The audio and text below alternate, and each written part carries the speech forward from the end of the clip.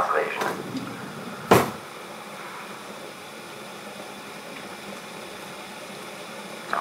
isst du gerade was?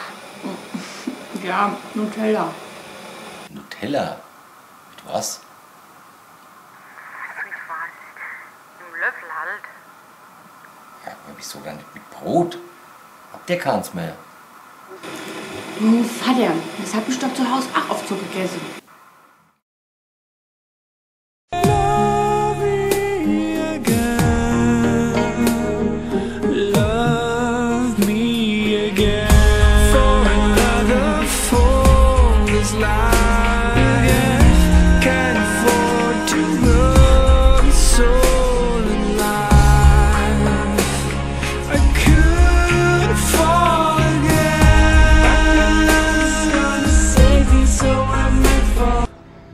Meine Schuld, dass es vorher schiefgegangen ist.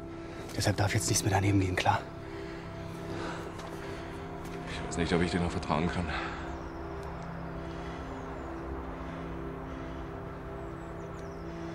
Ich glaube nicht, dass du eine Wahl hast.